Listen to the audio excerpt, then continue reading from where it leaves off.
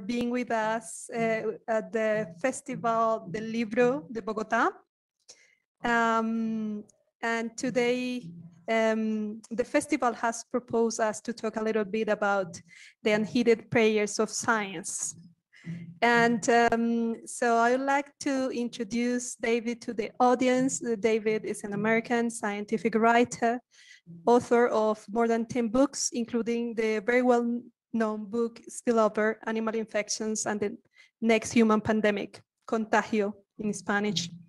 Uh, this book has been, has been named as a predictor of the current pandemic, but more than that, it has been a warning for, for any pandemic of our times.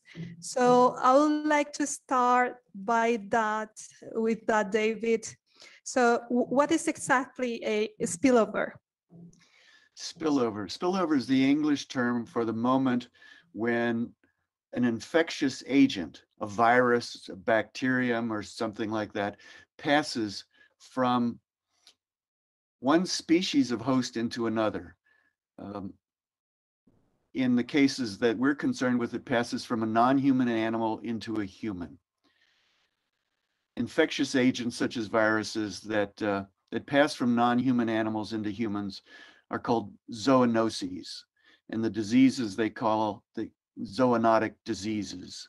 So spillover is when a zoonosis passes from a species of bat, a species of rodent, a species of monkey into its very first human victim and takes hold and causes infection that might then be passed from human to human and lead to an outbreak, an epidemic, or a pandemic. It all begins with spillover. Great. So it's, it's, it's really fascinating how a writer uh, who, who is not initially a scientist is, is speaking about all these scientific terms um, so which makes you a very special writer. So I am curious to know, David, about uh, how did all this start? Uh, how did you become interested in science, in ecology, in evolutionary biology? How has been your journey to become a scientific writer? Okay, well, it's been a long and winding journey for me. I published my first book more than 50 years ago um, in 1970, and it was a novel. As a young person, I was always interested in, in biology, in nature, and also in writing. And when I began my writing career, I began as a fiction writer. I began as a novelist. and I had not studied much biology in university. I did my graduate work in literature in England and I published a few novels, and then I discovered that I would rather write nonfiction. I felt like I had more to offer, and also, frankly, it would be easier for me to make a living. I discovered writing nonfiction. So I started writing nonfiction for magazines, started writing about nature, natural history essays, also started writing about science. I read Darwin, I read evolutionary biology. I taught myself, or I I learned by reading rather than by academic work, evolutionary biology and ecology, and continued writing about that for magazines and then in books, in in extended books um, that were more ambitious, including one that I published in 1996 called The Song of the Dodo. And it's about evolution and extinction and what we have learned about evolution and extinction from the study of islands. And then I wrote more books about ecology and evolutionary biology until the point about 20 years ago when I got very interested in Ebola virus and the mystery of Ebola virus emerging from some species of animal and causing this terrible disease in humans. And the fact that we still did not know at that time which animal Ebola virus lives in when it's not infecting humans. We call that its reservoir host. And the mystery of the reservoir host of Ebola was unsolved. I got interested in that question when I realized that this also was a matter of ecology and evolutionary biology. It was the ecology and evolutionary biology of dangerous viruses. And that 20 years ago was the beginning of the journey that led me to write the book Spillover, Contagio, uh, and it's, has me continuing to work on the subject of, of the COVID-19 virus now. It's the ecology and evolutionary biology of viruses that I have tried to help people understand. Fantastic. And um, David, um, you have been in, in so many different places around the world trying to um, understand this, these epidemics. Uh, You've, you've been to Australia, Asia, Africa. And um, so you have experienced by first firsthand what does it mean to be like a virus detective. Uh, you have interviewed people, you have experienced um, uh, the job of scientist. So what does it mean to be a virus detective? And what would like, I would like to know what, what you value the most about these experiences. Yes, yes. Well, yes, Vilma, it's, it's been a great privilege um, for me to be able to follow these disease scientists around in the field, some very, very brilliant, courageous men and women who do this work. And as you say, they are the they are the disease detectives or the virus detectives. Now, I mentioned the mystery of the reservoir host of Ebola. Every time there is a spillover that leads to an outbreak of a new disease, suddenly people are dying in Malaysia or in Australia or in uh, Bolivia, as with Bolivian hemorrhagic fever in 1960 and 1961. A new virus suddenly in humans killing people. That's a mystery that has to be solved. Where did that virus come from if it's new to humans? It had to come from a wild animal, possibly through domestic animals. How did that happen? This is the ecology of dangerous viruses, where they live and how they pass from one species of host into another. Um, but it's it's not just ecological science, it's a mystery that has to be solved. So these courageous scientists go into the field, they talk to people, they interview people who have become sick, they trace patterns. That's your profession, epidemiologist. And they also capture animals and look for viruses in the animals that will match the viruses that they're finding in humans. And that's the search for the reservoir host. Finding out which animal the new virus came from, how it spilled over from that virus into humans. That's the mystery that these disease detectives attempt to, to solve. And so I've had the opportunity to, to meet those people and follow them around in the field as they do their work. And um, it's fascinating, it's dramatic, it's uh, somewhat dangerous for them, but they are very cautious and they take precautions. And I have followed them, and um, I love life. I don't like unnecessary risks. So I've always made a point of standing about four feet behind them and taking whatever precautions they take. If they wear, if they wear a, a hazmat suit and goggles and gloves, then I wear a suit and goggles and gloves. And I stand four feet behind them and I try to stay away from the teeth, the claws, and the needles of the work that they're doing. And I have my little notebook and I'm taking notes. Fantastic. I've been, I've been myself in, to those trips at the border between Colombia and Panama, uh, helping as well some friends, scientists, finding these virus that are hidden within the jungle.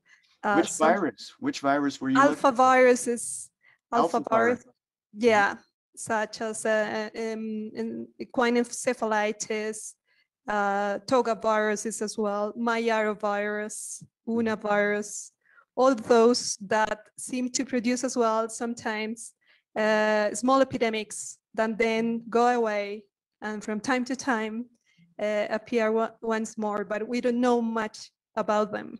Yes, it's such important work and uh, and such difficult work. But for the people that do it, you and your friends, I know it is very um, it's very satisfying because it is important. It is indeed. And um, one thing you have mentioned um, in your book um, is about um, uh, viruses are, are, are, are, are entities looking for opportunities to persist, right? Right. Uh, but some people tend to think that pathogens adapt themselves to become less pathogen, less pathogenic in order to survive within the host. Mhm. But it doesn't mean it always viruses evolve in such a way, right? So That's how right. does evolution, evolutionary theory help us understand the the the how viruses uh, behave and and and the current pandemic and how it is evolving? Yes. Well, thank you for asking that. I'm very interested in that question. It's very important and it's not well understood by most people because it hasn't been explained, I think, properly. Um, first of all, um, viruses, um, viruses are these very simple genetic parasites. Some people argue about whether or not they are even alive. A virus is just a little protein capsule containing a genome, containing genetic information in the form of either DNA, the famous double helix molecule, or RNA, which is a single strand molecule also containing genetic information. So a virus infects cells. A virus is not a cell, but it can only replicate itself if it is inside the cells of a cellular creature. We we humans, we animals are composed of cells, plants are composed of cells, fungi are composed of cells. Viruses are not cells, they can only replicate inside cells using cell machinery. So they don't have purposes. They don't wish us ill. They're not trying to kill us. They're not trying to jump from animals into humans. But because they have a genome and they replicate using a genome, genetic material, they are subject to what I call the three Darwinian imperatives after Charles Darwin. All creatures that replicate with genomes are subject to these three Darwinian imperatives. First imperative, make as many copies of yourself as you can. Have babies, produce offspring, multiply abundantly. Second imperative, extend yourself, expand yourself throughout geographical space, colonize habitat wherever you can.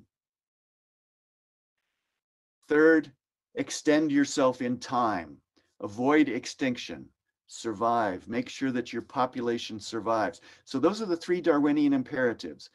Make copies of yourself, expand yourself in geographical space. And if you do those two things, making lots of copies of yourself and expanding yourself in geographical space, then you will achieve the third imperative, which is avoiding extinction, extending yourself in time. So that's what viruses do. Now, when a virus jumps from a species of, say, an, an endangered species of bat into humans, it does that, doesn't actually jump. Uh, it spills, and that's why I say spillover. Um, viruses can't walk, they can't run, they can't swim, they can't fly, they ride, and they tumble from one host into another. And if they happen to tumble into a new species of host and they find that they can replicate themselves abundantly, then they have succeeded in expanding themselves in geographical space. They have colonized new habitat, a new kind of creature.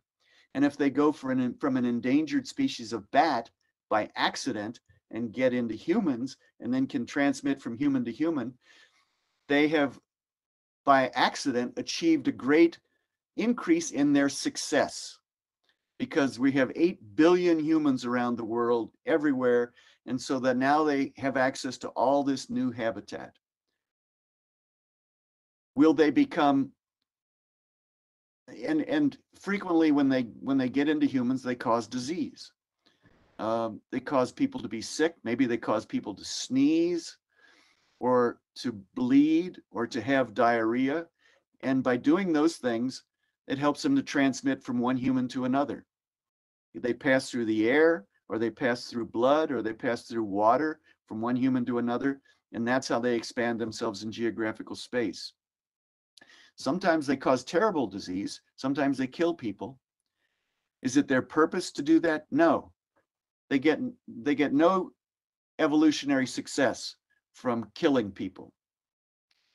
And they so um, so the killing of people is a side effect of their obeying the Darwinian imperatives, trying to succeed.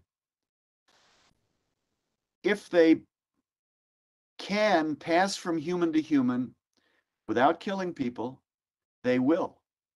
Does that mean a virus always evolves to be less virulent, to be less severe in humans once it's in there? Some people say that, some people think that, as you said, but no, not necessarily so. For instance, SARS-CoV-2, the COVID-19 virus, it transmits very well. It makes uh, some people very sick. It kills maybe one person in a hundred. That is a side effect of its transmission. Now that it's in humans and it's passing around the world, is it going to become less severe, less pathogenic, and become like a common cold? Not necessarily so. Because that 1%, it neither prevents it from achieving transmission nor allows it to achieve better transmission. So there's no particular reason why this virus will evolve to be less virulent as long as it is succeeding in transmitting from human to human as well as it is.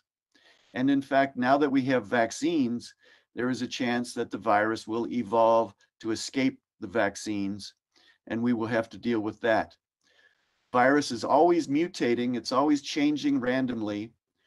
Um, and that is not evolution. Evolution is when it becomes adapted in new ways. And that occurs when it encounters challenges and then succeeds by Darwinian natural selection in evading those challenges. And vaccines are a form of challenge that the virus can potentially evade by natural selection. I hope that's not too much information, not too confusing. Um, but that's the No, uh, yeah, I think it's great, and it's it's it's good to people to know that uh, that those evolutionary imperatives are always determining how how viruses Yes. can can evolve within and and and uh, within this pandemic. Uh, you were speaking a little bit about vaccines, and uh, I would like to take from that point for my next question to you. Um, it's been great that in less than a year we have already a vaccine, or uh, even many many candidates and around 10 vaccines approved around the world for emergency use. However, we've seen as well in the world uh, this behavior of uh, rich countries getting uh, higher proportions of their populations already vaccinated and thinking about third doses and um, boosters, whereas uh, many, many countries in the global south um, are less than 10% of their population vaccinated. So I would like to ask you about your view on how how important and how and what what, what do you think about this vaccine inequality and what we can do about it? Yes, vaccine inequality, vaccine inequity is the single most important problem of the second year of the COVID pandemic. It is absolutely the most important problem that we're facing now. Vaccine inequity. Um, now we, we're fortunate, as you said, we have vaccines. Different countries around the world have produced vaccines. Um, China, Russia, the US, Great Britain, um, and, and other scientists in other countries. Um, but now we need to get those vaccines to people in every country.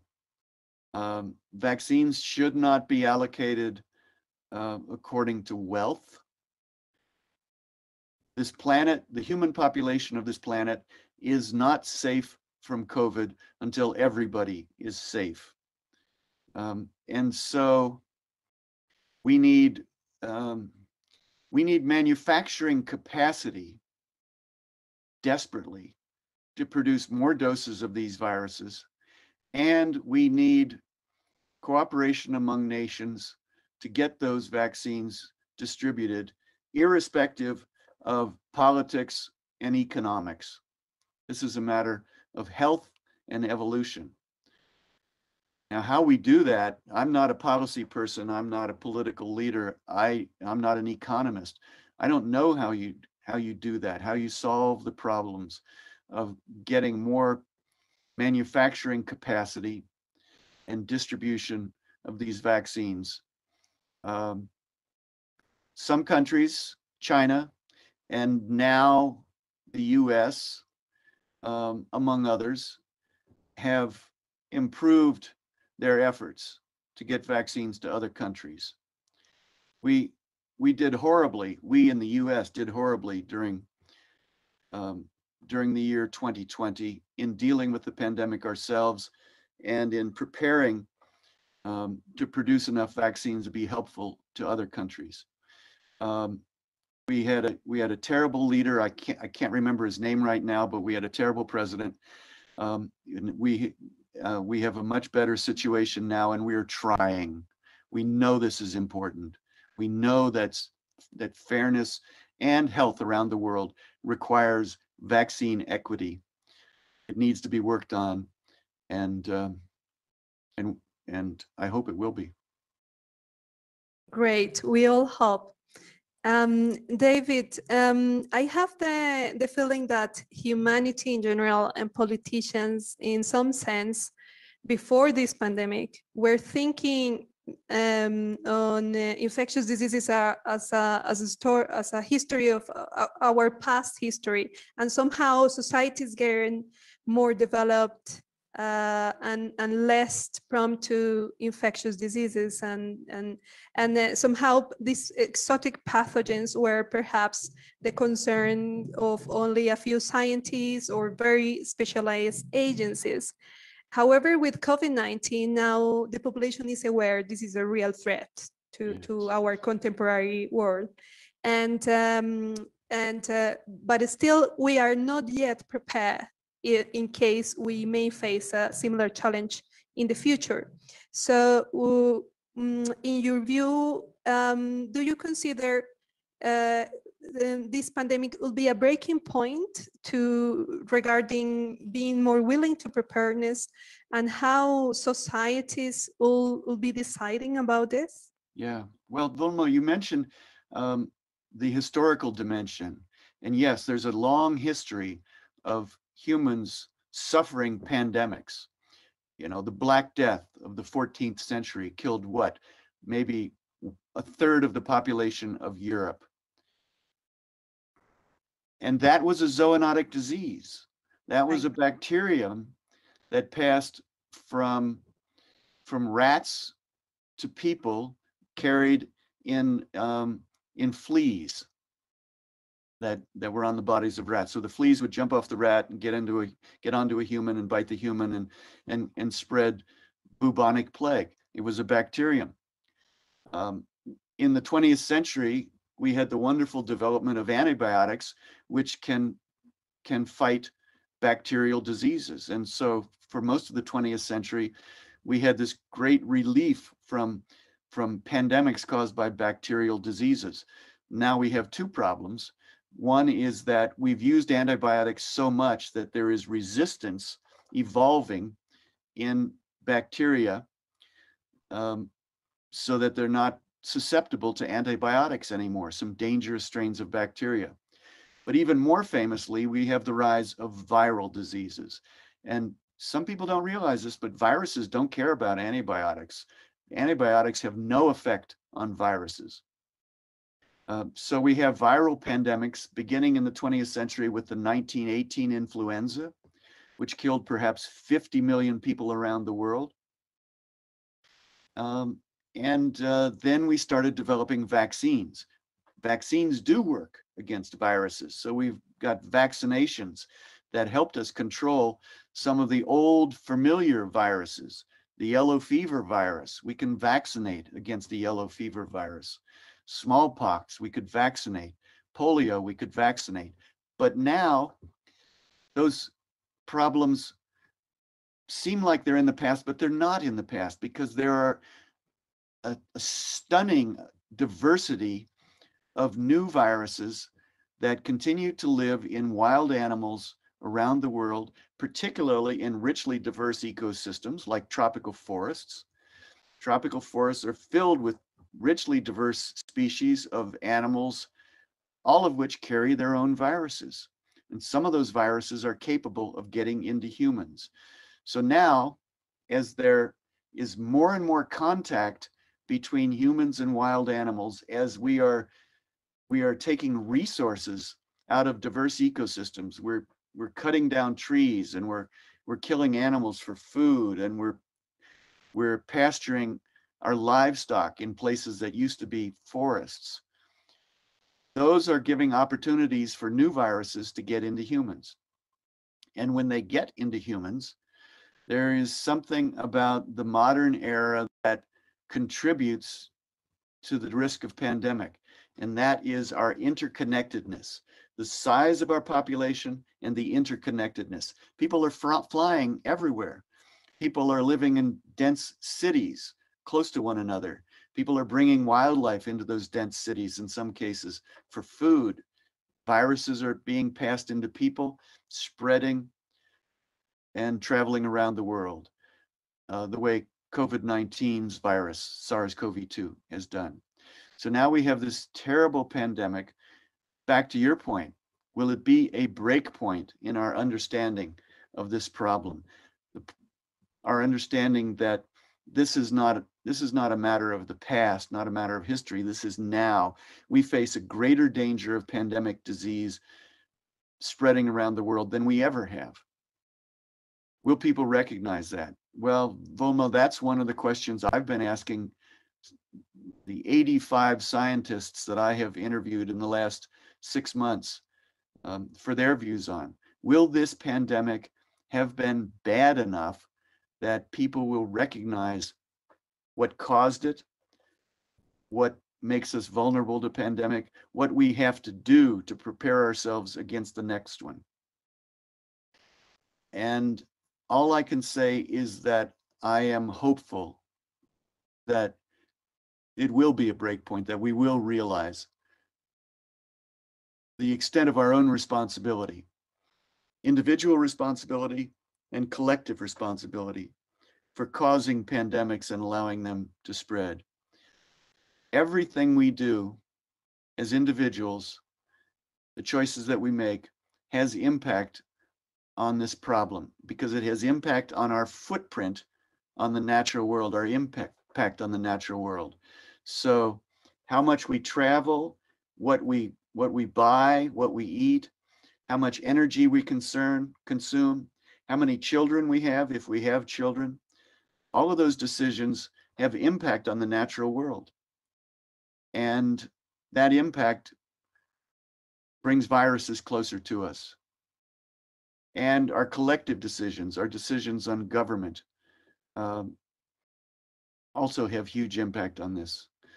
So I hope that this terrible event, COVID-19, um, will lead people to think about that and to realize our collective role in this and our individual roles in this and and act in radically different ways going forward. I hope. I hope. Yeah. yeah, me too. Me too. Probably, um, yeah, yeah. You have mentioned um, a little bit about this relationship between our collective and individual actions. And um, and the role of uh, biodiversity, climate change, and how interconnected they are as well with uh, the possibilities of a pandemic. And uh, so I would like to for you to expand a little bit more about this relationship between culture environments uh, and uh, and pathogens? Well, um, people need to eat. People have children.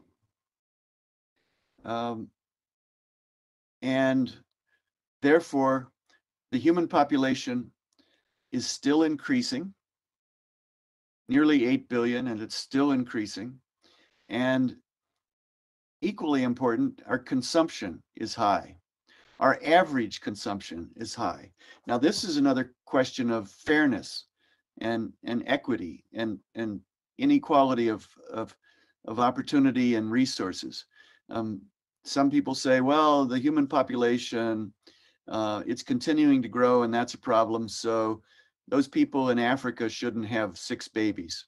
Well, those six babies that a family has in a village in Africa, those six children are going to consume less resources in their lifetimes, un- unfortunately for them, than the average person living in a developed country in the West. It's not just population, it's population multiplied by consumption. So even if we're people who have only a few children or no children, we still need to recognize that the scale of our consumption is much higher than some very disadvantaged people who might live, you know, in in a, a forest edge area um, in the tropics and not have the opportunity to consume very much in the way of resources. So again, it's a matter of fairness, it's a matter of population size and consumption. And we have to think about both of those things because those things together represent our impact on the natural world. Population size multiplied by consumption.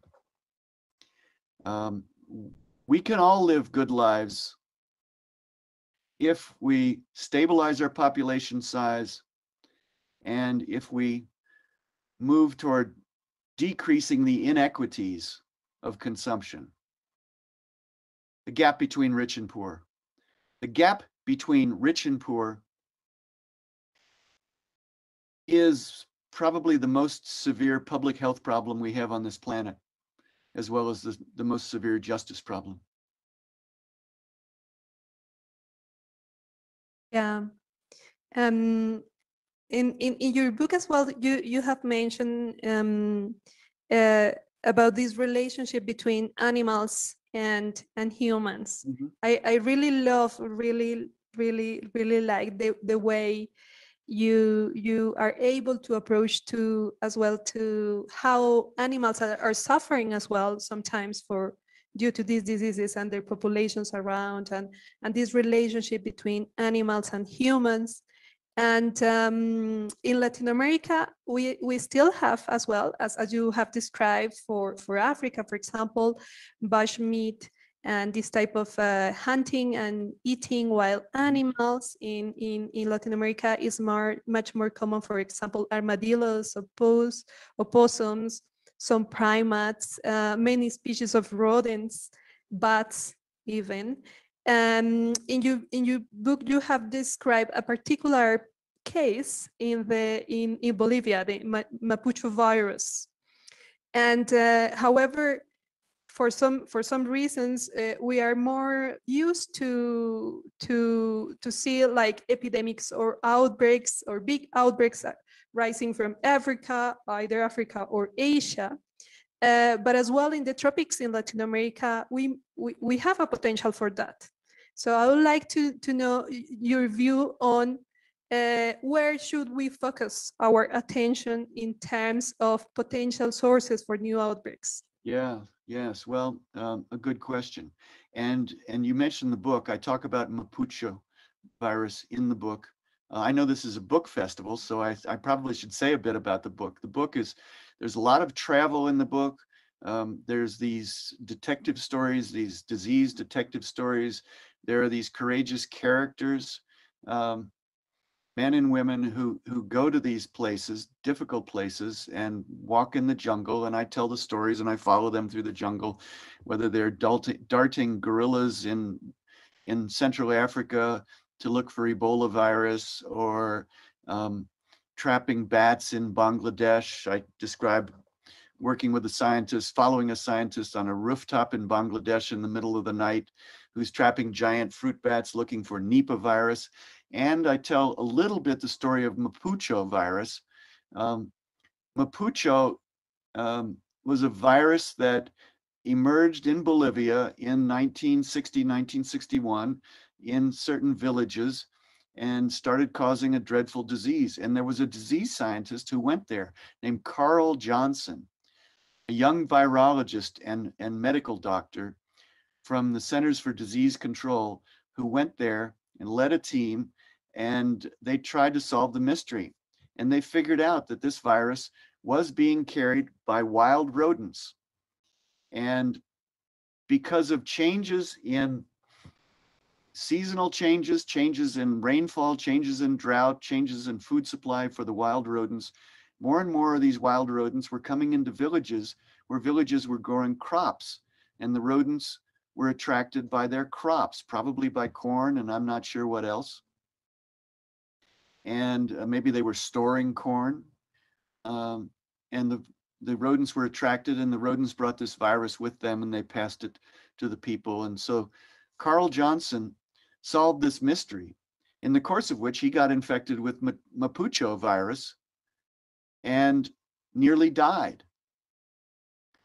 And he was uh, evacuated to a hospital in Panama, and he barely survived this virus. Um, Carl Johnson is now in his 80s. He's a friend of mine. I got to know him 25 years ago because he also was one of the scientists who first studied Ebola virus in uh, in the Congo in Central Africa. So he was a great hero to me, and he's a hero in my book. Carl Johnson, and he is the one who um, led the team working on Mapucho. Now, back to your question, bushmeat. Uh, bushmeat is not something that uh, is just uh, um, a problem for people in Africa. Um, bushmeat is is any wild animal that is captured and killed for food. It can be done in Bolivia. It can be done in Colombia. It can be done in Montana. Um, we I am not a hunter, but my friends, I have friends who hunt birds, who hunt deer, who hunt elk for food. And here we don't call it bushmeat. We call it game. Oh, you have wild game. Great. You have venison. You have you killed a deer and we can eat this deer. But it's the same. It's just a different a different term. We have to recognize that people who live in rural villages with um, that are adjacent to forests, they need food. They need protein. They're hungry. Their children are hungry. So they will eat wild animals anywhere in the world. But it's dangerous. It's dangerous because those wild animals carry viruses. Um, so again, part of dealing with this problem is is helping people understand giving them information about the risks, giving them the opportunity to develop alternatives, to raise domestic livestock, maybe to raise chickens, to raise rabbits, to raise fish, so that they have alternative sources of protein. And then also take help them take care that the viruses that live in wild animals aren't passed to their own domestic animals, to their pigs, to their chickens, and then from the domestic animals to them. There is a term that these scientists use, and I'm sure you're familiar with it, and let's tell readers about it. It's called One Health. One Health. There is no animal health here and human health here. There is no wildlife health here and livestock health here and human health here separated. It's all one health. And to keep humans healthy, we have to be aware of the diseases, the, the pathogens that wildlife carry, and the, the fact that they can be picked up by domestic animals too and shared. It's it's the the mindset of understanding that there is only one health that allows people, veterinarians, epidemiologists, virologists, medical doctors working together ecologists working together to deal with these problems. That's great, David. And uh, another thing I was really amazed in your book is um, uh, be because I was trained as a mathematical modeler. Um, and, and in your book, I, I, was really pleased to, to, to read about uh, a bit the history of uh, Ross, uh, McKendrick, uh, more recent, recently Anderson and May, and how how math mathematics came into this world of evolutionary bio biology.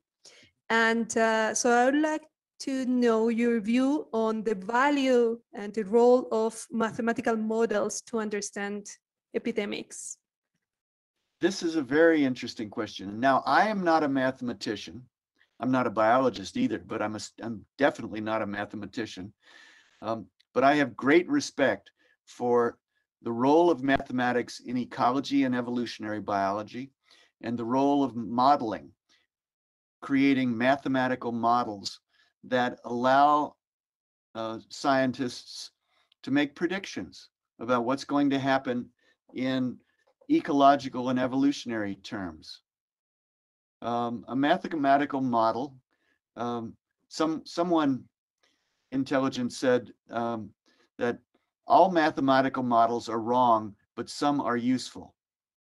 And what that person meant was that when you create a model, um, you you take certain factors from the real world and you build them in, but you make estimates, you make um, approximations because it's only a model. It's not the real world. If it were the real world, it would be too big and complicated for you to understand. But by creating a model, you simplify things in order to go from point A to point B to point C and then predict where point D might be. It's like a map. It's like having a road map in the glove compartment of your car. It's an approximation, but a road map or a GPS will allow you to drive somewhere and get to your destination without really knowing all of the geography. That's what a roadmap does. But a roadmap is an approximation, a simplification. If a roadmap were, were completely faithful to reality, then a roadmap of Colombia would be as big as Colombia. It would have to be. And you couldn't use it. So you shrink it down so you can put it in your glove compartment by making approximations. That's what a mathematical model, at least in my understanding, does. So then you can take the mathematical model and you can say, well, um, this disease seems to have a transmission rate of this amount and a fatality rate of this amount. And the population density of this city is this amount. Let's put those factors together and we'll turn the crank on the model and it will give us a prediction of how bad this pandemic is going to be in a particular city or how quickly it may spread through a particular city. And that's hugely valuable. And so some of the people that you mentioned who are in my book, I tell the story, Ronald Ross involved with malaria in the early 20th century, and Kermack and McKendrick, two uh, scientists who devised some, some simplified models for understanding disease. And then Roy Anderson and Robert May in England, who did a great, great service in mathemat mathematizing infectious disease and others.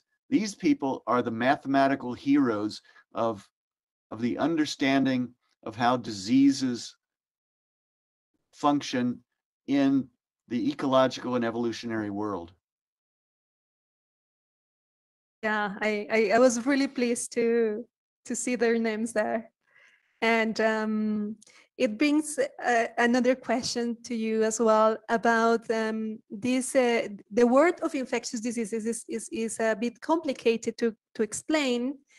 Um, sometimes is um, counterintuitive. Um, and um, and you and you do it greatly in your book using a language that people can understand and terms of, and giving giving uh, characters uh, information for us to follow as as a, as a novel. And uh, so um, so my question to you is is about uh, what we can learn as scientists from from literature from writers in terms of facilitating communication between science and, and, and the society? Yes, well, um, it's interesting. I've I've sometimes been asked that to talk to scientists about that. How how do you communicate science to ordinary people, non-scientists? Um, and one of the things, and that's my job. My job is and, and, and others who, who occupy the same space as I do. We're between you scientists and the general public, the people who aren't scientists, but who sometimes want to read a book about science. The first point is that people want to read about people. So when you write about science, I believe it's important to write about the people who do science. They are humans as well. Tell their stories tell the human story of science. You know, science is not a body of fact. Science is a process of discovery. It's a method of learning. Science involves some, some basic principles like hypothesis testing, gathering of empirical data, et cetera, et cetera. Science also involves ambition, competition, friendship, um, uh, inequities, um, unequal access to opportunities. For instance, women um, have had to had to fight very hard to get the same opportunities in science as men have had. Now that is, you know, that has improved very much, but it needs much more improvement. Science is about all these things. It's about these human factors.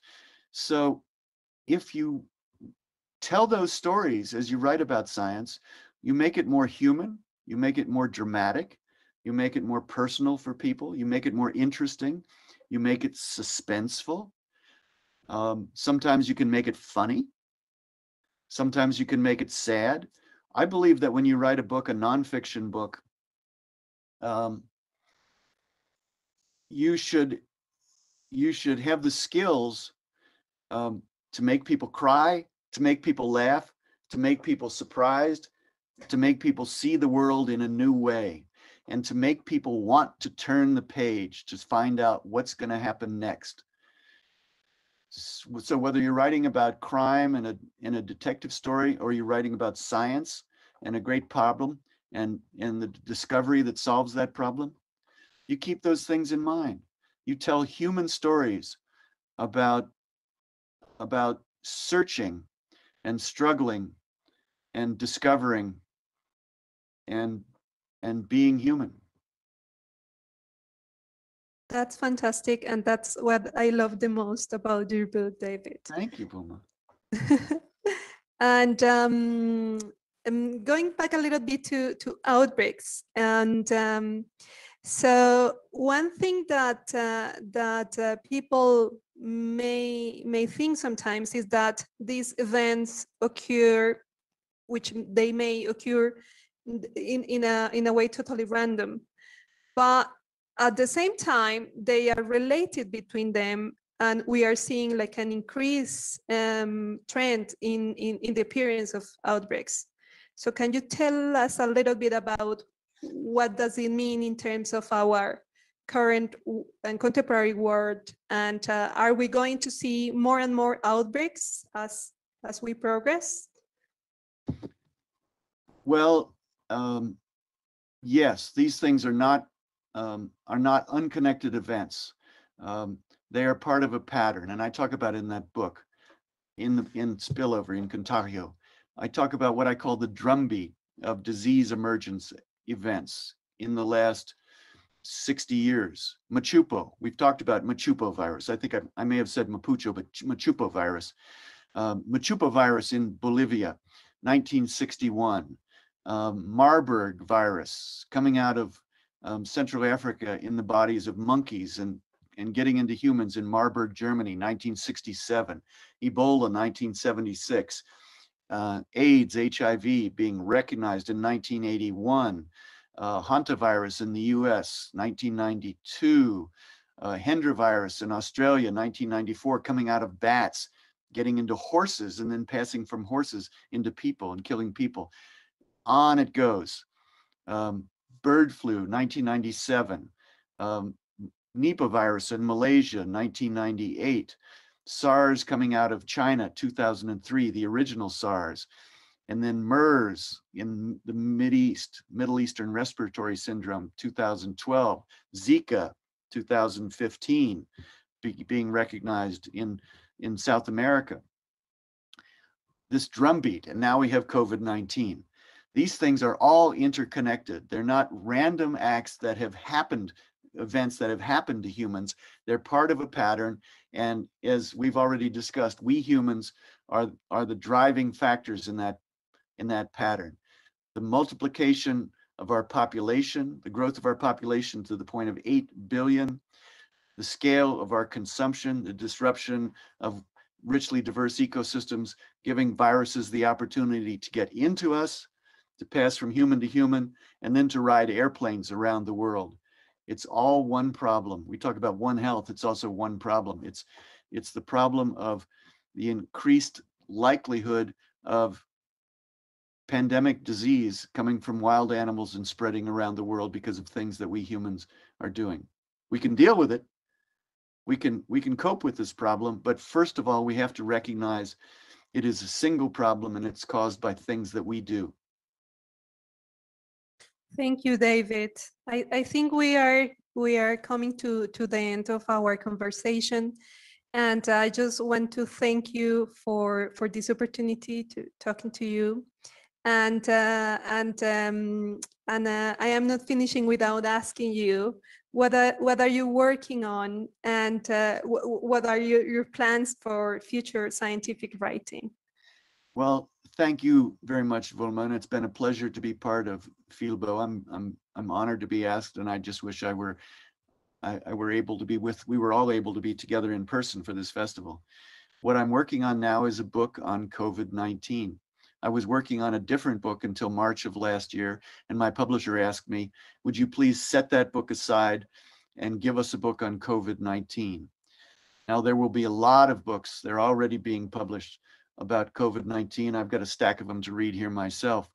Um, I'm trying to write a book that will be uniquely useful, and I'm I'm approaching it by doing what I feel comfortable doing, which is writing about the science the ecology and the evolutionary biology of a virus, a novel virus. So rather than focusing on the politics, on the public health crises, other books are doing that. That's very important. I'm focusing on the virus itself. I'm going to try and help people understand um, this novel virus that has gotten into humans, uh, its origin, its evolution, and its fierce journey through the human population. Um, so that's what I'm writing about right now. And, I'm and, and I've been doing it by Zoom, this wonderful uh, tool that we have uh, that has served us well as an alternative to, to being together during COVID-19. I have interviewed um, 85 of the world's leading scientists uh, working on this virus over the last six months, and now I'm in the process of, of writing this book. That's fascinating, David. And I think it's a, it's a, there is currently a huge debate about the origins of SARS-CoV-2. And uh, so it will be great to have your, your book out and, Thank and you. see. I, and I will certainly deal with that question. Yeah. Fantastic. Thank you so much, David, again. And thank you, Filbo, for having us. Thank today. you, Filbo. And thank you, Volma. Thank you. It's been a pleasure to talk with you. Very best of luck with your important work. Thank you so much, David.